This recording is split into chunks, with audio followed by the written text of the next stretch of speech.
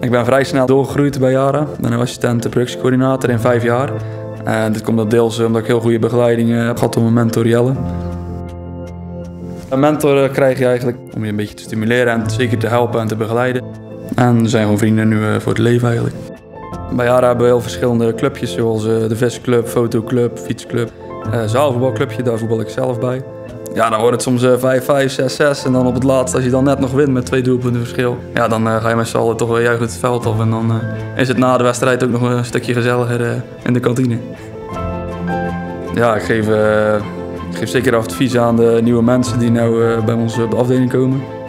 dat is eigenlijk, omdat Jelle bij mij dat ook altijd als mentor, dat hij even wat steun gaf en advies gaf van jongen, ga er even voor, dan ja, is sneller bij je klaar met je, met je opleiding en dan kan je sneller doorgroeien. En dat advies geef ik ook altijd mee aan de nieuwe mensen eigenlijk die, uh, die nou bij mij in de ploeg binnenkomen.